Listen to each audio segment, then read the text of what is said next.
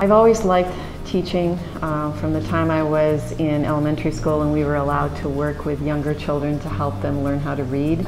That it was the coolest thing in the world to be able to help someone else to learn. And also when I struggled, which was usually in math class, and after I figured it out what I was doing wrong and needed some more support with, I was thinking how important it was that if I had had the kind of support that I wanted to provide to others, I wouldn't have had that feeling that I didn't know how to learn. So both of those instances really caused me to want to be a teacher. I was excited to be able to begin my career in actually a place I hadn't planned on. I had planned on teaching elementary or junior high level students, but there was an opening for a writing and a English support instructor.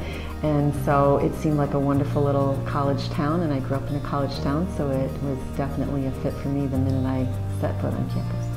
The best thing about my job is getting to support students in any way possible every day. When I walk into the classroom, especially in one of my developmental classes, I often have students who don't like the subject area. In fact, may have had very negative experiences in the subject area, but hopefully by the time they finish their work with me, they feel better about their learning, about themselves, and they are more confident that they can do what they never thought they could before. I feel like my door is always open to my students. My area of um, the house that my office is in is always crammed with students. They are often out the door, down the hall, and sometimes down the stairs waiting for a conversation. And while they're waiting, somehow collaborating with each other and bonding over being here at Caz. I've always been active in terms of my professional development and research. In fact, um, a role that I hold right now, I'm a professional development coordinator for NADE, which is the National Association for Developmental Education, an organization that I belonged to for over 30 years and been very active in.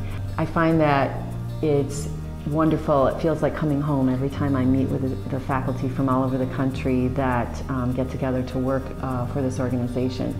They get what I do, they support what I do, and they do what I do across the country. My work with NADE is just naturally fitting to what I do at Cazenovia. We support all students in NADE because whether a student is struggling in an area or is actually excelling but wants to reach even further, we are the kind of organization that can support students' growth and needs.